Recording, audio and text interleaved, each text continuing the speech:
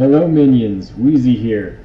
Uh, today I want to talk you through this uh, Call of Duty Blackout solo win that I got. Um, so spoiler, I win this one.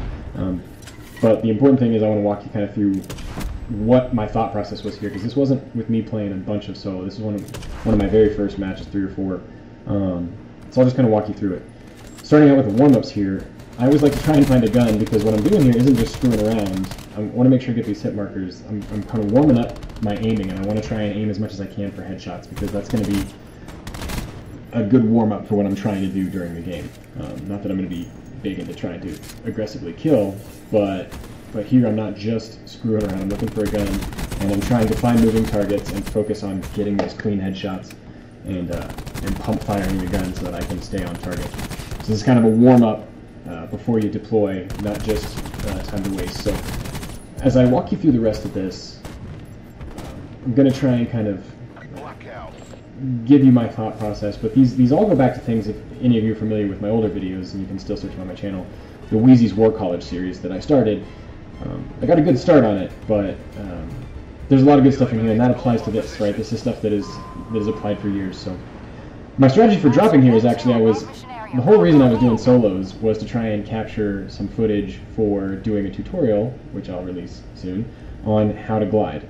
And uh, so I was just literally picking the furthest point away on the map that I could get to, and kind of showing how this glide uh, strategy, technique, can get you basically across the entire map. So I was really just trying to go as far as I possibly could for the purposes of just arbitrarily showing you how far I could glide. Um, I will do a different video talking about actually intelligent ways to pick where you want to land. Um, but as I was losing altitude and realized my chute was about to deploy, I decided to pick the closest place that would have some weapons, and uh, factory is actually one of my favorite places, um, as I found out since this, um, to land, because it's it's got a lot of stuff, there's a lot of cover, a lot of places to hide, and it's not super popular. Um, so the first thing that I'm doing here, and the first thing you really want to do when you land, is find the gun. And I get, I get as it turns out, I realize at the time, but kind of is definitely the case now. Finding this ABR so early on is is like is like finding a gold gun, right? Like the ABR is is a laser beam in this game, and it deals so much damage because it's a three round burst, and unlike the swordfish, even at distance, all three of those rounds are super close. I mean, you're not going to snipe with it.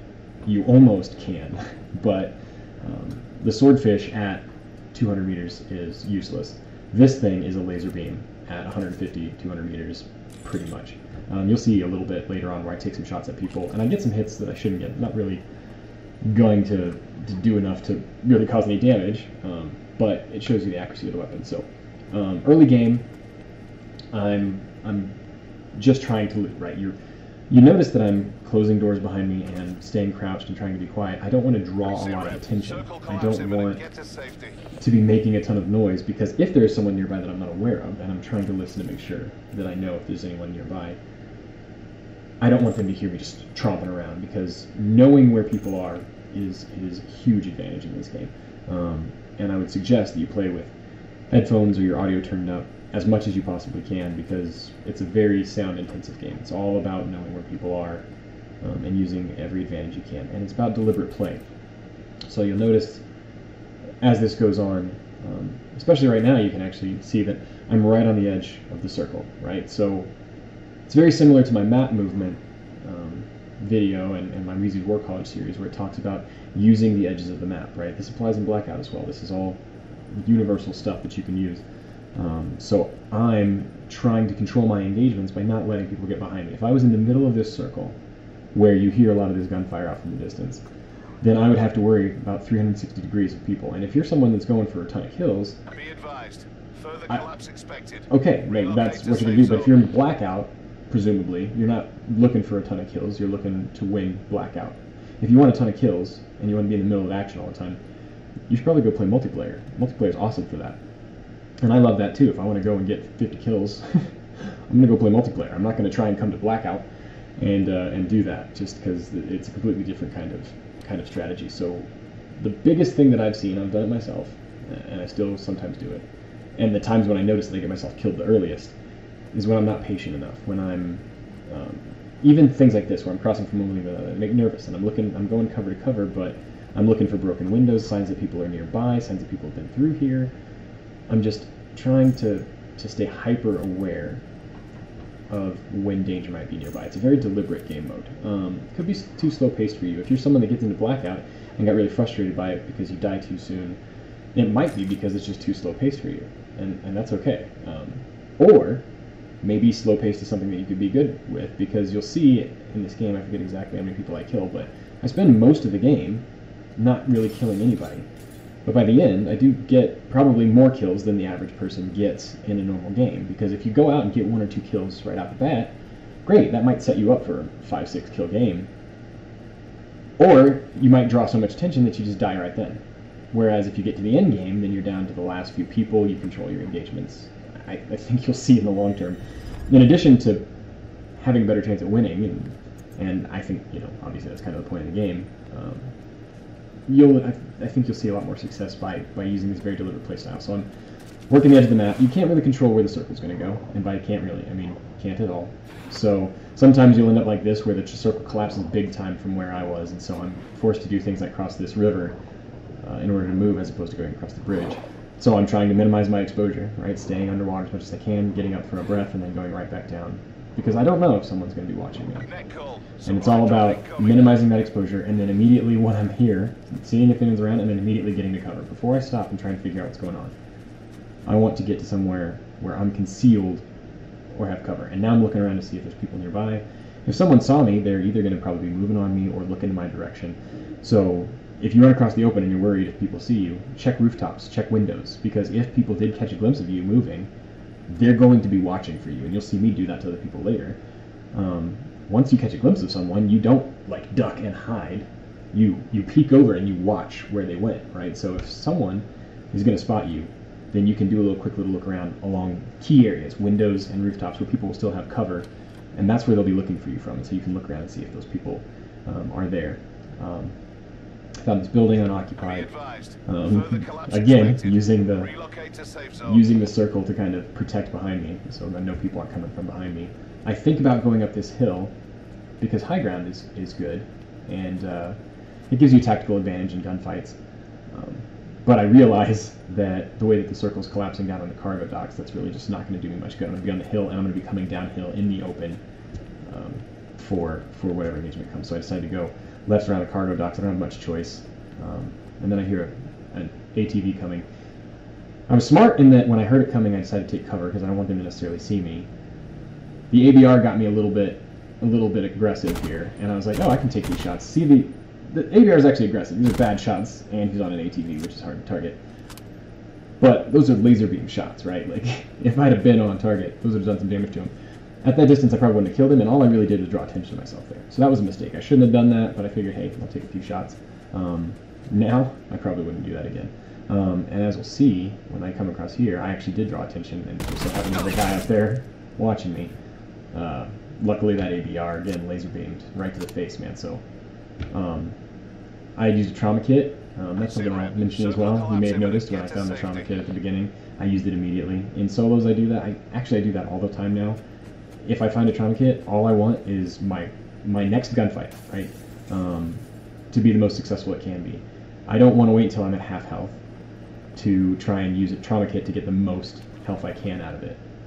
I want my next fight to start with me with max armor and max health as much as possible. So, that, which is kind of a bigger strategy for, for how I have found myself being more successful in solo blackout, is don't try to win the game. And what I mean by that is, obviously, you're, you're, trying to win the game, but if you come into the game thinking, I need to win, I need to win, I need to beat 100 people, or 99 people, right? Because you want to be the 100th. Um, I went through there and, and redid, redid my health and armor. What you want to do is is you want to win the next engagement, right? All you, you don't want to focus on winning the game. All you want to do is set yourself up for the next engagement. You want to control who you're going to fight next because all you can do is fight one fight at a time. If, if you're thinking five fights down the road, you're you're you're not going to be focused on what's going on. So the best success you'll have isn't to try and win the game, but to try to win the next engagement. So here I'm seeing guys. If I was trying to win the game and I see a guy like this, it's like I need to kill him, right? I need to kill this guy. If I'm going to win, I need to kill this guy.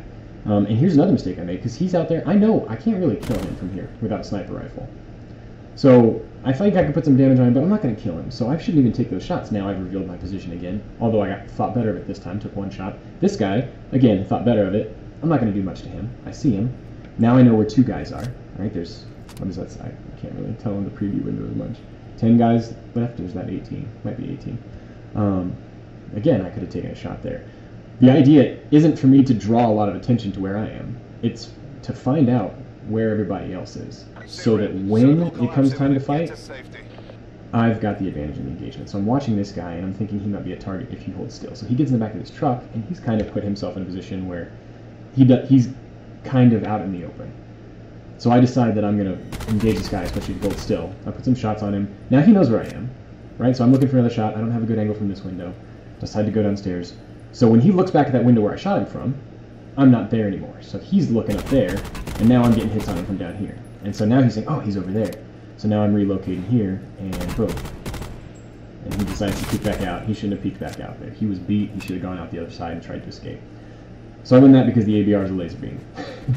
um, that was pro- that's a that's a range that was probably undoable for any other assault rifle in the game. This is an assault rifle, I guess they call it, whatever, battle rifle or precision rifle. But um,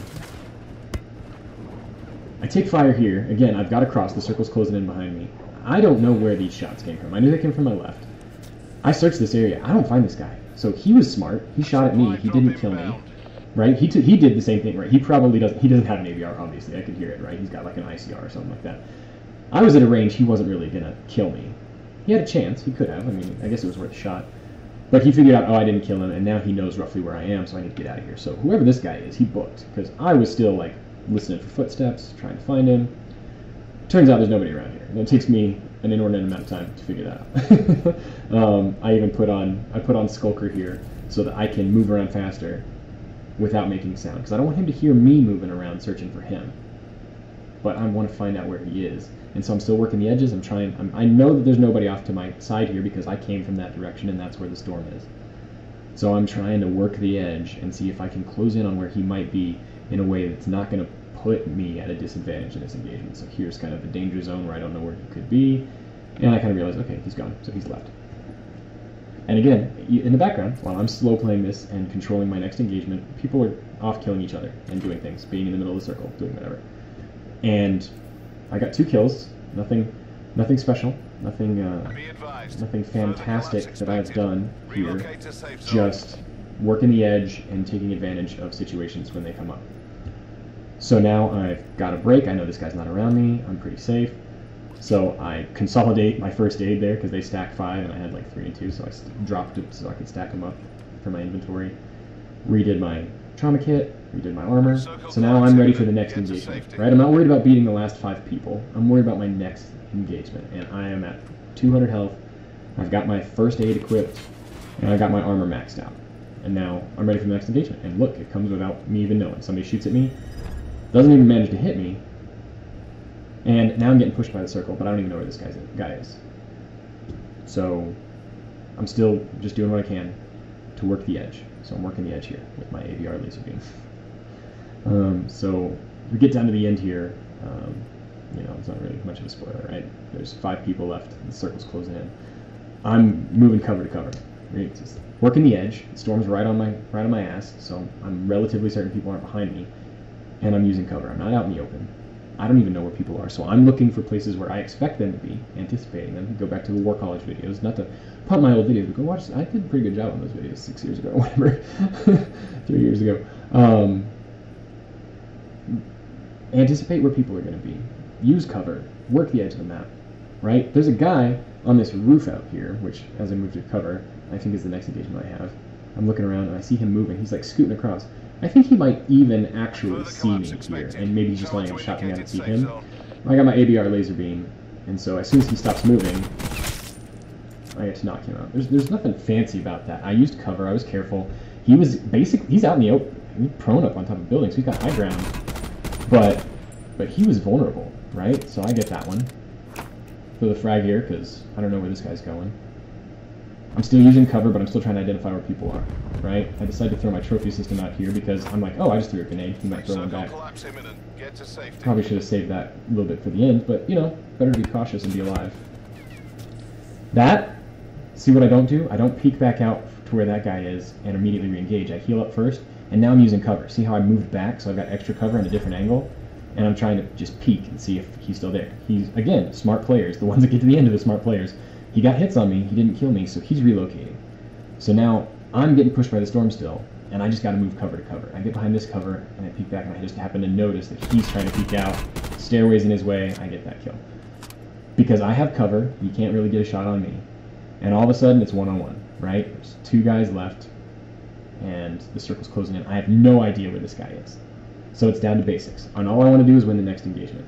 I think you'll see me here. You're right, I'm looking around. I'm like, okay, well, I don't see him. I think I noticed my armor's low, and I think I patch up my armor here. If I remember correctly. I think I did. Come on, don't let me down. Oh, it's when I get to the truck. He's got a sensor up, so I destroy that. Luckily, I saw that. I'm still not, I don't know where he is. I know I'm safe inside the circle now. That's when I decide to patch up my armor. Because I know he's not to my left. I'm behind cover. I don't know where he is. I don't hear him moving. So now I'm max, you know, I'm, I'm not, I don't have my trauma kit, but I'm ready for my next engagement. So I'm looking to try and find out where he is. See him, take cover, try and re-engage, but he's gone. So I'm moving now too, because he he knows where I was, so I need to be somewhere different too. I don't know where he's gone, and he's just decided that his tactic is high ground and grenades, and my tactic is laser beam at 80 yard space. So that win, there was absolutely I don't want to say there's absolutely no skill in that, but for the most part, that was that was fundamentals, right? I, that wasn't fantastic gun skill. I didn't outplay someone or do some fancy drop shot, right? And in that last engagement, he had multiple grenades and the high ground, right? But I used cover, I used tactics, and I got good shots, right? And I stayed calm because I was just trying to win my next engagement, not the whole game. So I managed to ramble all the way through 17 minutes of a 24 minute game. Um, like I said, there wasn't much slow to cut out, so it's a faster game than I expected. And uh, so what did I get? Five kills. If you go gung ho early on, you get one or two. Wait to the end. I got I got basically all of mine there at the end. So hope you guys enjoyed that. I'll do more like this, and uh, let me know what you think. Check me out at uh, my website, guys. If you don't know, Wheezy'sGaming.com. Uh, see you guys later.